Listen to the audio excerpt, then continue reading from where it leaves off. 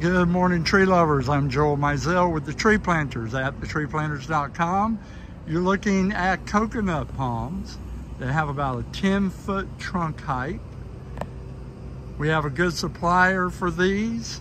This is not traditionally a Central Florida tree. They will freeze in Central Florida. There are certain times and occasions where you can make a coconut live in Central Florida. There might be a warm air pocket or maybe the south side of a lake where it would do good. Now, most of our business is Central Florida. We do dip down into uh, southern parts of the state and up into northern parts of the state because we try to cover the entire state.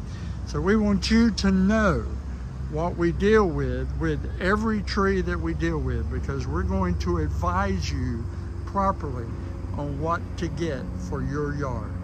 So if you're Sarasota or if you're Tampa, uh, more on the coastal area or around the bay, these can definitely survive the cold because the warm air of the bay water or the Gulf water will protect them from freezing and cold. So that is coconut palms. We have smaller ones and bigger ones.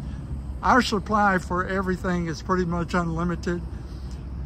So whenever you're looking for a tree and whatever you're looking for, check us out, thetreeplanters.com. Reach out to us from there and we will make arrangements and get your trees in for you right away.